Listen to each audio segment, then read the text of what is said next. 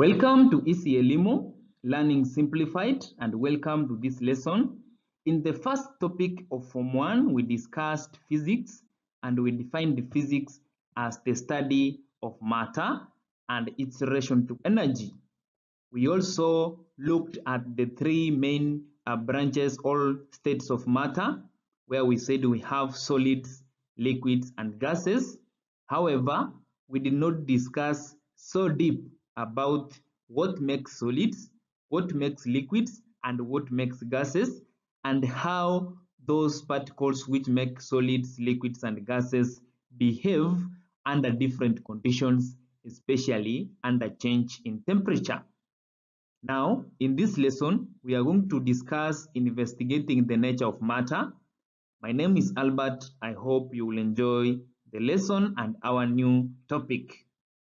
By the end of this lesson, I expect you to be able to define matter and state its three main uh, states and then describe simple experiments which you can perform to prove that matter exists in small particles. So entire in this topic, you are going to realize that matter is made up of very small particles. So you have to describe at least four experiments that you can perform in order to prove that indeed matter exists in small particles.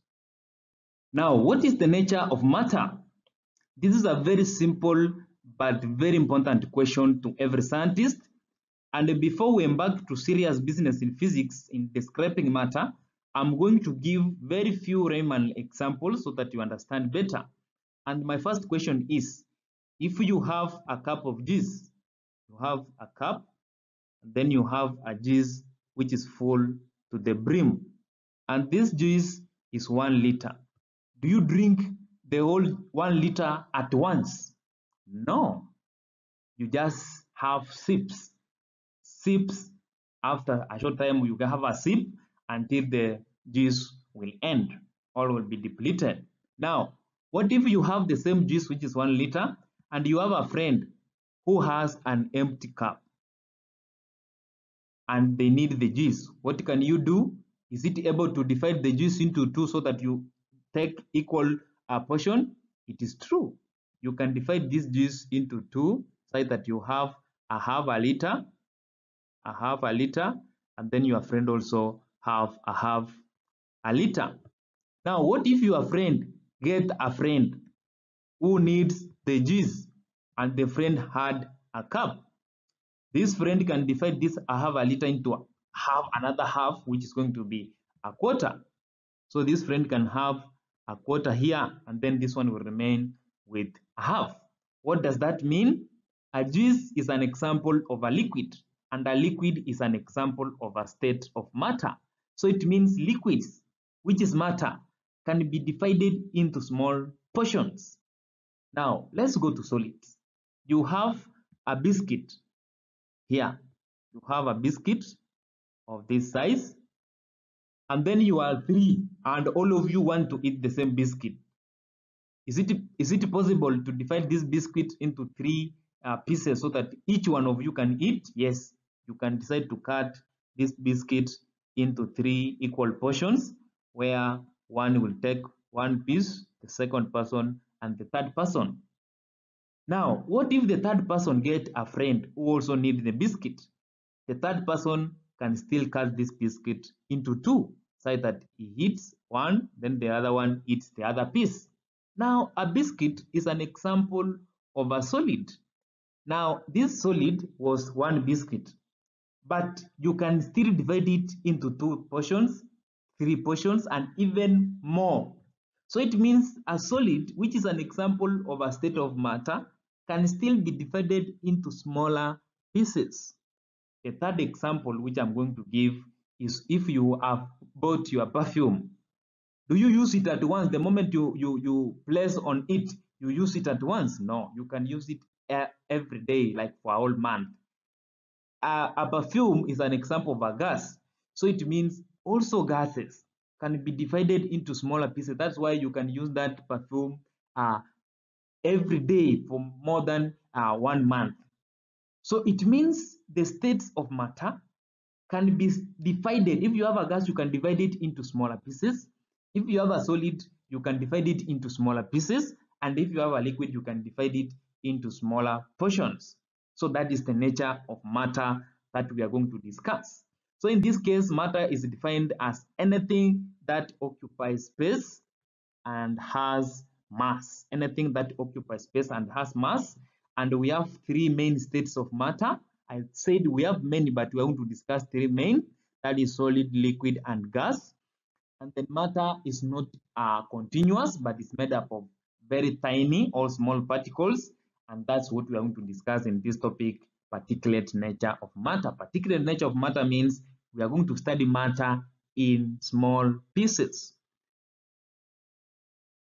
We have many set of experiments which we can perform to prove that matter is made up of small particles. But in our case, we are going to consider a few cases and we are going to start from solids. So in this uh, case, we are going to consider a piece of paper and I urge you students to take a piece of paper so that we prove this together. Uh, after you have taken your piece of paper, I've taken mine here on the screen. This is my piece of paper. It's a paper. I want you to divide it into two equal parts. Divide it into two equal parts so that you have part one and part two. Now, after you have done that, I want you to have uh, one of the part here. So put one side, like put one aside and then let's continue with part two. Part two is here now, it's smaller, it has been reduced. This is our part two. I want you to cut part two into smaller, uh, into two equal parts again. Take this cut into two equal parts, so that now you have part three and part four. Now put part three aside. Let's go with part four. Let's go with part four. Part four will look like this. It's now reduced. That is part four. Part four. Now part four I want you to cut it into two equal parts again. Part 4, cut it into two equal parts so that you have part 5 and part 6. Now put part 5 aside, continue with part uh, 6. You have part 6 here, very small. Then part 6, I want you to cut it into two. Cut it into two so that you have part 7 and part 8. Then now puts part 7 apart. Let's go with part 8. If you take part 8, you put it there. You can see this paper as we are cutting it is reducing into smaller, smaller pieces. And you can cut it until you cannot be able to cut it anymore.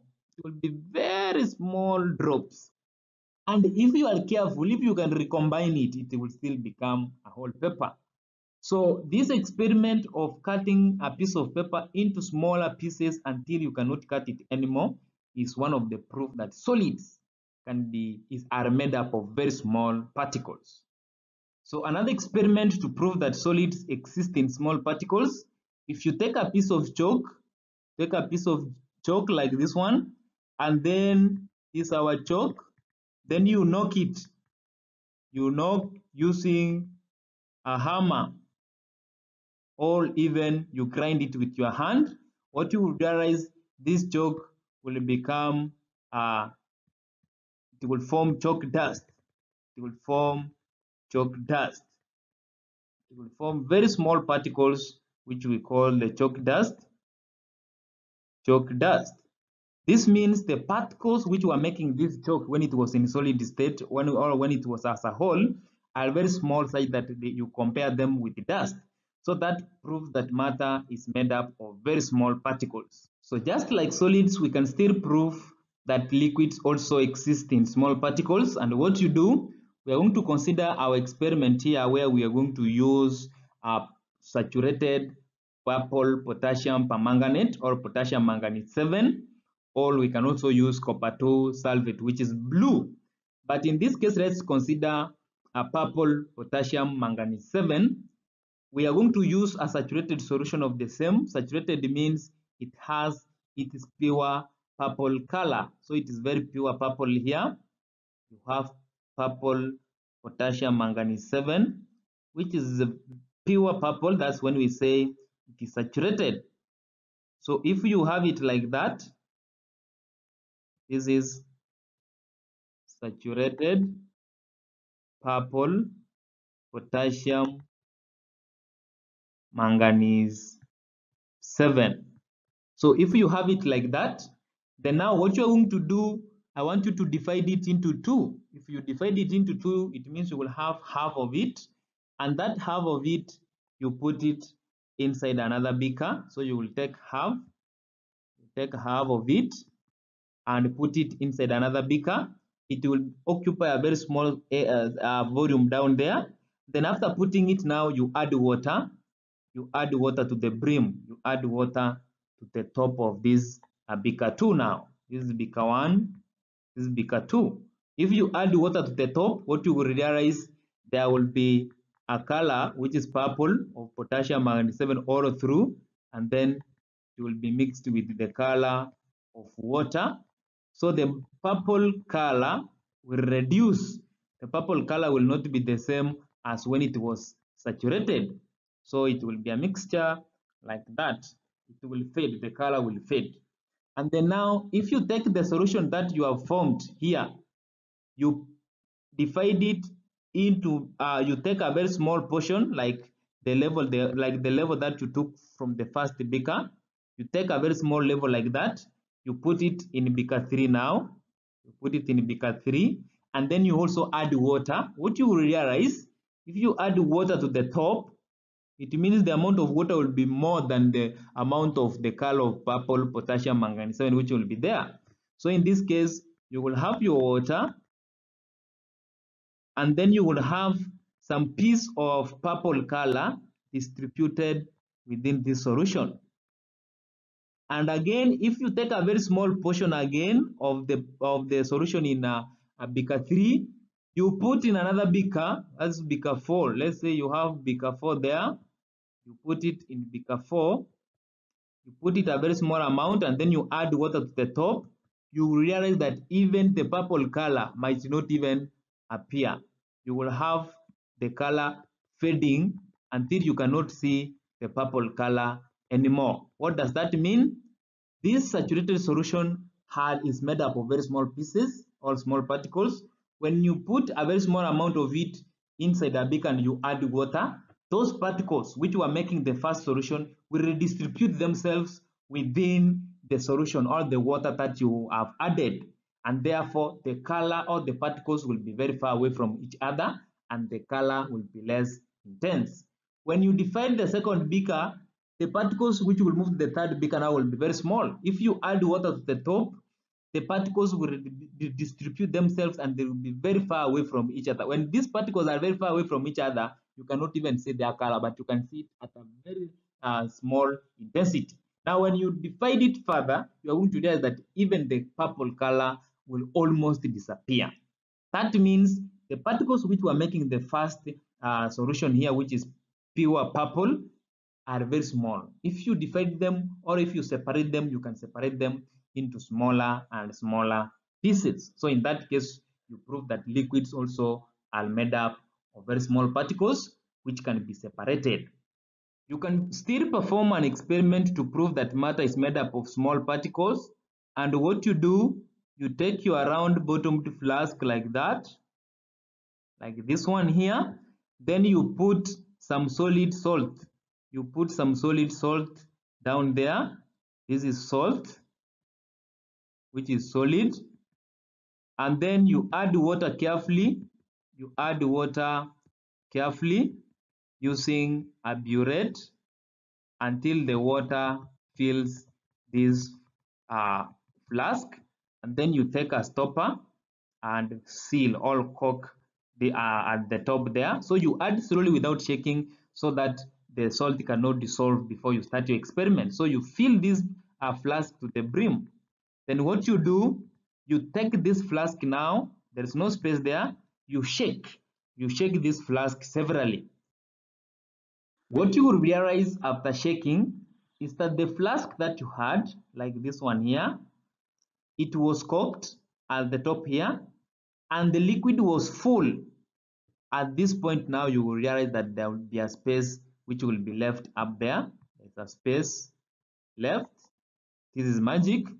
And then this salt that we had down there is no longer there. There's no salt, there's no solid inside this a flask. Now, what happened to our solid? solid? It means the solid that we had, it was in very large grains of salt. That solid dissolved. So here we don't have no solid, no uh, solid left. Then now we will have this solution. So the solid that we had dissolved to form a solution. But that solid was very large. We can see it or we could see it. Now we can't see it. What does that mean? The particles which were making the salt are very small in such a way that when they dissolve in water, we cannot see them using our eyes. That means that solids like salt are made up of very small particles uh, which we cannot see with our eyes. Now, the content was full. Now the volume has been reduced. What, that, what does that mean? It means the water which we used as our solvent has some spaces where this solid which dissolved entered or uh, packed itself. So it means this uh, liquid or this water has some spaces. But can we see the spaces in this liquid? No, we cannot see them. So what does that mean? If there are spaces inside water and we cannot see them, it means also water has is made up of very small particles and those small particles between them there are spaces which as particles of a solid like salt can uh, pack itself so these two prove that both liquids both liquids and solids are made up of very small particles and this experiment we call it dilution experiment since we have described how to prove that solids and liquids are made up of small particles, we are remained with the third state of matter, that is gases. So to prove that gases are made of small particles, we do an experiment which we call ventilating a smoke, a smoky room experiment, where if you have a room like this, and then it's full of smoke, it's full of smoke particles like that, and the room is closed. If the room has a very high concentration of smoke, this smoke, then you have windows and doors which are closed. Then if you want to reduce the concentration of this smoke, you open the window. Immediately you open the window, if you are inside the room, you will realize that the intensity of the smoke will decrease slowly. And if you are outside, you can even see the smoke moving out slowly. That one will take some a couple of time. It means the smoke which was inside was not as a, a group so that it can move once out. It can only move slowly. It means the particles which make smoke can be separated into smaller particles which can move out slowly until after some time the room will be ventilated. So this one uh, uh, can prove or you can be used to prove that indeed gases are made up of small particles which can be separated and spread out. So I'm leaving you with an assignment and the question is, it is possible to dissolve sugar in tea with milk. If you have tea with milk, you can dissolve sugar inside without any noticeable increase in volume of tea. Explain. This is your assignment. Kindly attempt it. And if you have any challenge, visit EasyElimu Learning Simplified for more questions and solutions. So that is the end of our lesson today. And since we have discussed and discovered that matter is made up of very small particles, in the next lesson we are going to see how are these particles arranged within the solid structure, liquid structure, and gaseous structure.